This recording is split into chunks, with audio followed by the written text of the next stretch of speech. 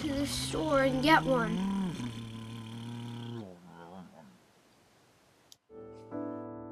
Hi, Wendy. Hi, John. Do you know where the sweaters are? Uh, yeah, they're right over here. Let me show you. Oh, here's a nice one. I sure like this sweater. I'm gonna keep it for a long time. This is a really nice sweater. I think I'll call w Wendy and say thank you. Hello? Hi, Wendy, it's John. Oh, hi, John. I just wanted to thank you for this sweater and tell you how much I liked it. Thanks a lot.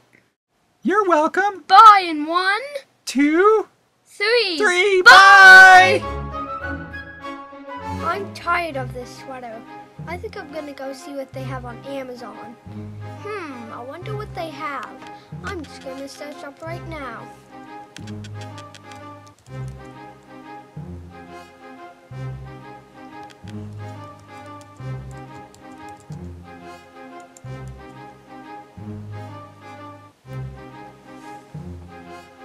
Oh, there's a nice young man's sweater. I think I'll get that.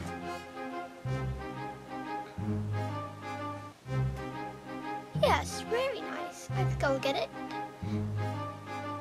What colors do they have it in? I think I like the gray. Hmm. Yes. Very nice.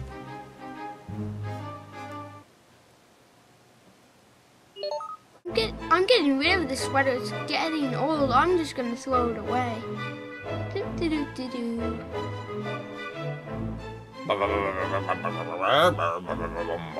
Look at this nice sweater somebody threw out. Gosh, people throw out the nicest things. What a total waste. Look at all this good stuff. Oh well. um, people throw stuff out and they don't need to. Because other people in this world could have these TVs. Don't need to throw them out. And they waste money coming to the dump and dump and dumping everything out. They could give it to somebody else and they wouldn't have to waste any of their money. And the other people wouldn't either. You could, you just, it's better. It's a better idea to pass stuff on than just throw it out.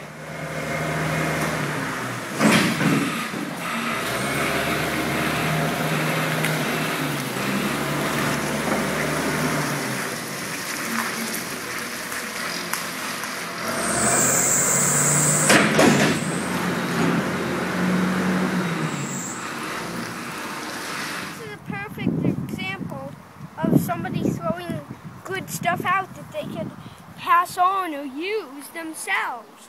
These are good scooters. They just throw them out because maybe they, because something went wrong, but they could pass them on. They're fine. They work fine. Don't just throw stuff out pass it on